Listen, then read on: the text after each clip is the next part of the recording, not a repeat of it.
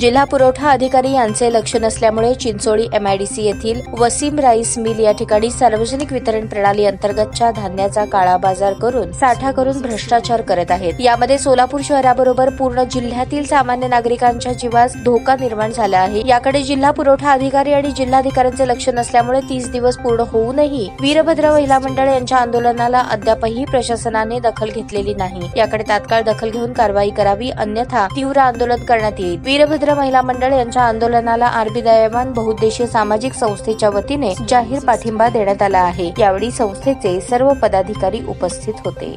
श्री वीरभद्र महामंडळ चे अध्यक्ष संगीता बिराजदार हे गेल्या तीस दिवसापासून या ठिकाणी आंदोलन करत आहे यामध्ये एम आय डी सीच्या राईस मिलमध्ये वेळ मिसळ होऊन या ठिकाणी सामान्य नागरिकांच्या जीवाला धोका निर्माण झालेला आहे. ते अनेक वर अनेक वर्षापासून यासाठी लढा देत आहेत तरी तीस दिवस झालं उपोषणला बसून.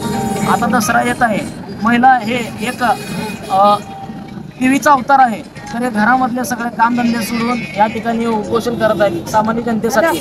तर कलेक्टर साहेब व सामान्य प्रशासन झोपीचं सोंग घेत आहे. तात्काळ याकडे लक्ष देण्यात यावे. नाही तर अन्यथा ह्या चालू दसऱ्यामध्येच ह्याच्यापेक्षा तीव्र आंदोलन हे करतील व त्यां आमच्या संघटनेचा पाठिंबा त्यांच्या मंडळास राहील. संगीता विरोधाला आमचा जाहीर पाठिंबा आहे. असं मी या ठिकाणी पाठिंबा देत आहे. धन्यवाद. जय भीम. ताज्या बातम्या पाहण्यासाठी प्राईम महाराष्ट्र न्यूज चॅनलला सबस्क्राईब करा.